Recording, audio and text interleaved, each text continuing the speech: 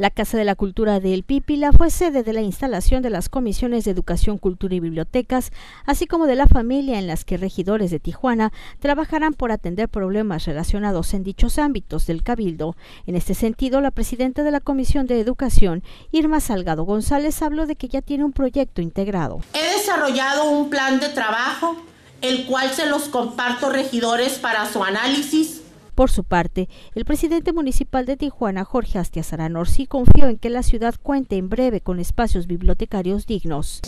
Ojalá que pronto Tijuana tenga una biblioteca digna, que las bibliotecas que tenemos distribuidas por todo el municipio también logremos remodelarlas. Al ser instalada la Comisión de la Familia, el regidor Luis Alejandro García destacó su interés por apoyar al DIF. Entonces nos estamos sumando a lo que es la propuesta de DIF municipal, a su trabajo, a su suma de esfuerzos por lo que son las reparaciones e instalaciones y estaremos trabajando en los próximos días ya en una guardería y ese es el compromiso que hace esta comisión en la parte social, en la parte de trabajo público. En este sentido, el edil destacó que su gobierno no busca dar limosnas. Vamos a buscar los recursos para que no solamente continúe el DIF y las otras dependencias de desarrollo social apoyando al que menos tiene, dándole un sesgo diferente.